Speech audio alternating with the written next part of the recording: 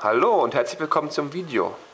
Schaut euch mal an, wie kreativ man auch im Winter werden kann, wenn man hier den Schnee fegt.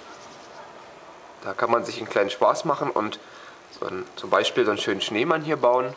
Auch wenn heute kein Backschnee ist und es für den richtigen Schneemann nicht ausgereicht hätte, kann man hier trotzdem mit dieser Idee sich einen wunderschönen Schneemann auf den Hof zaubern. Ich wünsche euch viel Spaß beim Nachmachen und viel Kreativität. Und noch einen schönen Tag. Tschüss!